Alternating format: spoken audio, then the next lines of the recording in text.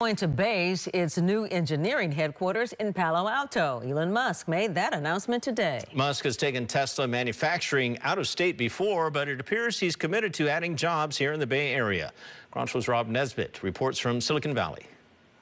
Elon Musk stood with Governor Newsom to announce that Tesla's new engineering headquarters will be the former headquarters of Hewlett Packard, a move that surprises many given the company's rocky past in California.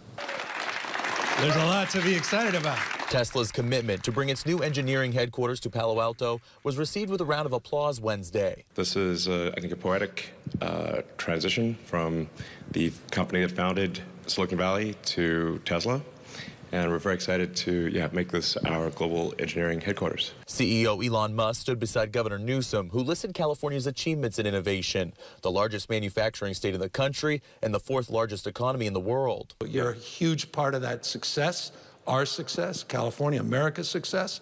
And I'm here because uh, we don't take that for granted. Tesla moved its corporate headquarters from Palo Alto to Austin, Texas in 2021 after Musk complained about California's strict COVID regulations. Jeff Bellisario with the Bay Area Council Economic Institute hopes Wednesday's announcement by Tesla will lead other companies to make a bigger investment in the region. If the office workers are not necessarily coming back in full force, it's these types of jobs that are more research and development, more manufacturing and engineering based that we think can help grow our economies. California has committed to producing only zero emission vehicles by 2035, and Bellisario expects other electric vehicle makers will expand their engineering and manufacturing before then.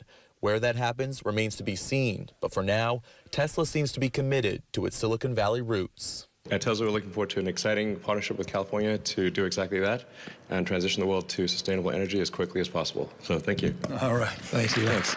Musk says that the Tesla manufacturing plant in Fremont is the highest output automotive plant in North America, with plans to make more than 600,000 cars this year. Reporting in Palo Alto, I'm Rob Nesbitt, KRON 4 News.